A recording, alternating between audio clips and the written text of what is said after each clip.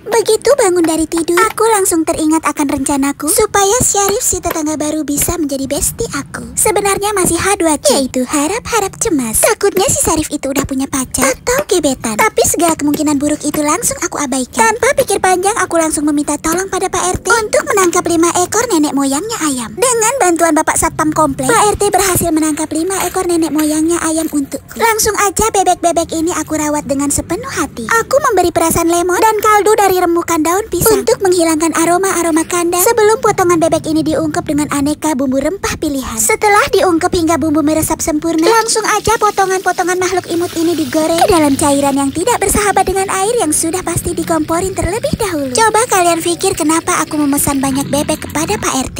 Anak mertuaku pernah bercerita kalau besannya ibu kandungku sangat suka dengan menu bebek goreng. Apalagi di masa-masa ngidam seperti sekarang ini. Sengaja aku memasak lebih awal tanpa menunggu instruksi dari ibu mertuaku supaya saat matang aku segera menemui Syarif si tetangga baru. Tentu saja supaya tanpa sepengetahuan ibu mertuaku. Ya, bisa dibilang aku lagi cari muka di depan tetangga baru. Siapa tahu aja bestiku bisa makin bertambah. Dengan begitu aku bisa menjalani hidupku dengan lebih mudah lagi. Di posisi ini aku sangat membutuhkan banyak dukungan. Sebagai menantu rasa anak tiri di rumah ini, jujur aja perasaanku masih ketar-ketir. Aku khawatir kebaikan ibu mertuaku hanya sebatas saat ngidam saja. Bisa jadi saat masa ngidam selesai aku jadi mendapat perlakuan seperti dulu lagi. Catat ini baik-baik. Duduk di posisi nebeng di pondok mertua indah memang sangat tidak mengenakan. Apalagi kalau ditugaskan sebagai seksi sibuk sekaligus seksi konsumsi oleh ibu mertua. Kita harus pandai-pandai mencari besti tanpa harus terjadi pergesekan dengan ibu mertua. Selama ini anaknya ibu mertuaku sudah bisa diajak bekerja sama. Tapi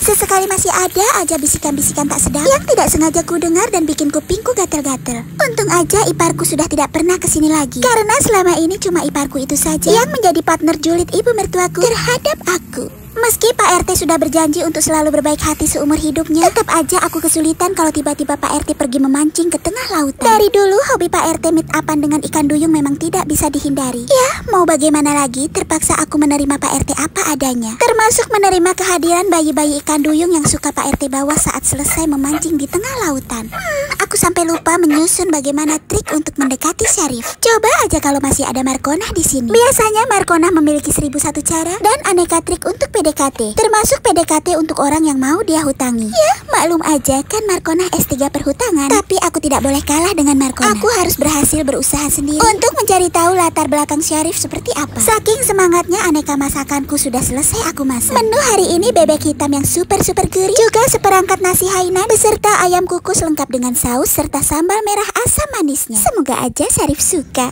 Ups, bingung mau masak apa? Nonton DBM aja.